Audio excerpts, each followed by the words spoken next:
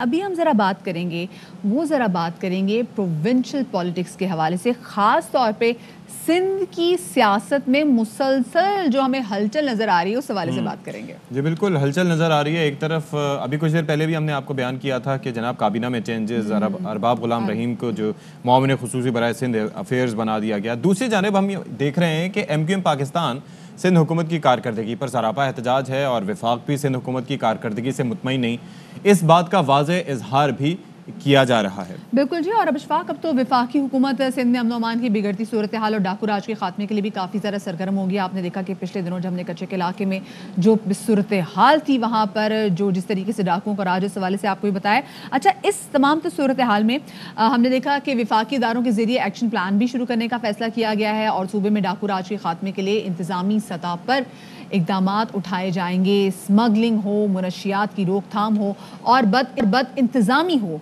इनको भी ख़त्म करने के लिए विफाक अपना किरदार अदा करेगा। जी, बिल्कुल, और इसके साथ साथ जनाब वज़ी अजम इमरान खान से सिंध से ताल्लुक़ रखने वाले अरकान इसम्बली की मुलाकात में ये फैसले किए गए हैं। वज़ी अजम ने ग्रीन लाइन की मुकर्रा मुद्दत में तकमील को यकीनी बनाने और सिंध पैकेज के तहत मनसूबों में तेज़ी से काम करने की हिदायत भी की है। बिल्कुल, जी इसी वाले से मजीद बात करेंगे रानुमा एम एम कंवर नवेद साहब हमारे साथ मौजूद है, उनको शामिल गुफ्तु करेंगे। कंवर साहब बहुत शुक्रिया आपका कि आपने बाखबर सवेरा को वक्त दिया।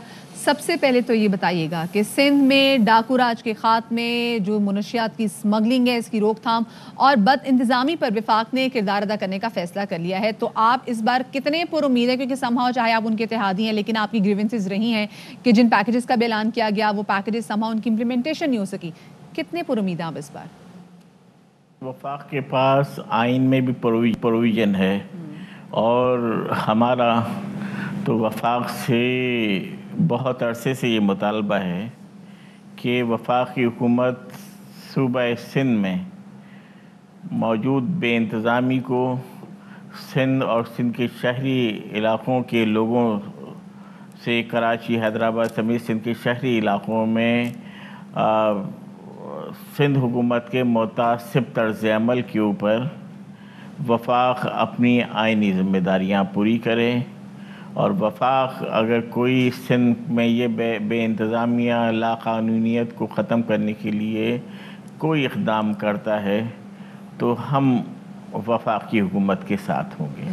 के साथ साथ सिंध की सूरत हाल पर जो इकदाम किए जा रहे हैं, उससे मुतल क्या वफाक ने आपको अहतमाद को लिया है?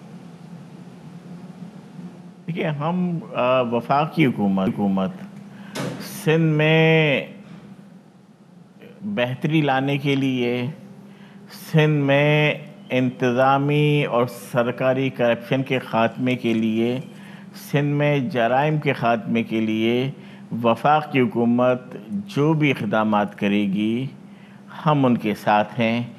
और हम उनकी भरपूर हिमायत करेंगे अच्छा कंवर साहब ज़रा ये तो अक्सर पीपल्स पार्टी आइंदा बल्दियाती और आम इंतबी इंतबात में शहरी इलाकों को लेके भी काफ़ी ज़्यादा कामयाबी के दावे करी स्पेसिफिकली कराची के हवाले से लोग भी उनकी पार्टी में शामिल हो रहे हैं आपकी पार्टी से भी काफ़ी लोगों ने उनको ज्वाइन किया तो इस बारे में क्या कहेंगे देखिए ये देखिए ये तो तमाम सियासी जमातों का हक भी है। और वो अपने दावे करती भी हैं तो इससे एम क्यू एम को कोई परेशानी नहीं है। और ये कराची के लोगों का और सिंध के शहरी इलाक़ों के लोगों का ये हक़ है कि वो जिसे चाहें, चाहे बल्दियाती इंतबात हों या वफाकी और सूबाई असम्बलियों के इंतबात हों, कि वो जिन उम्मीदवारों को बेहतर समझते हैं, जिन सियासी जमातों को बेहतर समझते हैं उनको वोट दें। हमें इस पर कोई परेशानी नहीं है। हम अपना मंशूर लेकर चल रहे हैं और हम सूबाई अपना बलदियाती इंतबात में भी और वफाकी और सूबाई असम्बली के इंतबात में भी अपने मंशूर के मुताबिक वोट मांगेंगे और चलें जी बहुत शुक्रिया आपका कंवर नवेद हमसे बात कर रहे थे और ज़ाहिर है कि एम क्यू एम पाकिस्तान के अपने तहफ़ात हैं हम्म। और उस हवाले से वो तस्करा करते हैं इनकी पॉलिटिक्स में उनका भी अहम किरदार है। अहम तरीन खबरें अब एक क्लिक की दूरी पर। आपके पसंदीदा टॉक शोज़ हों या अहम मुल्की या गैर मुल्की शख्सियात की न्यूज़ कॉन्फ्रेंसेस हर लम्हा बाखबर रहने के लिए सब्सक्राइब करें हमारा यूट्यूब चैनल मौसम की सूरत हाल हो या खेल के मैदान से खबरें। अपने मोबाइल फ़ोन से मुल्की और बैन अवी अहम खबरों तक रसाई के लिए डाउनलोड कीजिए मोबाइल ऐप बावसूख जराये से मुसदा खबरों, तजियों और तबसरों से मुस्तफ़ होने के लिए विज़िट कीजिए पाकिस्तान की सबसे बड़ी न्यूज़ वेबसाइट, www.arYnews.tv इन सब के अलावा पाकिस्तान का सबसे बड़ा फेसबुक पेज हो, सबसे बड़ा न्यूज़ इंस्टाग्राम अकाउंट या फिर Twitter A R Y News पहुँचा रहा है खबरें सबसे पहले आप तक, ताकि आप रहें हर लम्हा बाखबर।